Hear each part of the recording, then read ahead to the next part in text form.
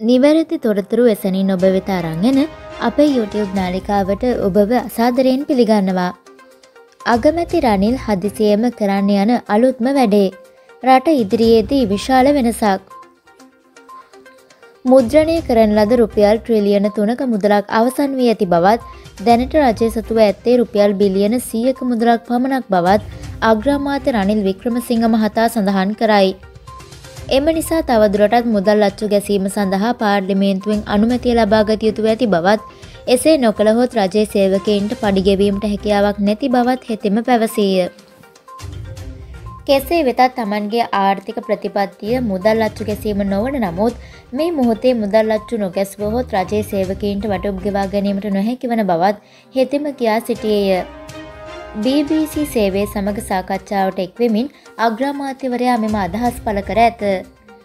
මේ පිළිබඳව ඔබේ අදහස් පහතින් කමෙන්ට් කරන්න යන්න අමතක කරන්න එපා.